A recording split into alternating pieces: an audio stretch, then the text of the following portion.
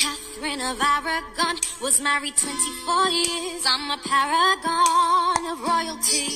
My loyalty is to the Vatican, so if you try to dump me, you won't try that again. I'm that Boleyn girl and I'm Aunt Nexie. I broke England from the church. Yeah, I'm that sexy. Why did I lose my head? Well, my sleeves may be green, but my lipstick's red. Jane Seymour, the only one he truly.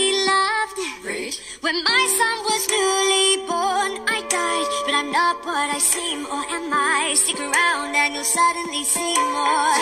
Ich bin Anna of Cleves. Yeah. When he saw my portrait, he was like, Yeah. But I didn't look as good as I did in my pic. Funny how we all discussed that, but never Henry's little Prick out your ears, I'm the Catherine who lost her head. Beheaded. For my promiscuity outside of wed. Lock up husbands, lock up your sons. Kay Howard is here and the fun's begin. Five down, I'm the final wife.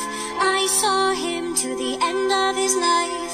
And the survivor, Catherine Parr. I bet you wanna know how I got this far. I said, I bet you wanna know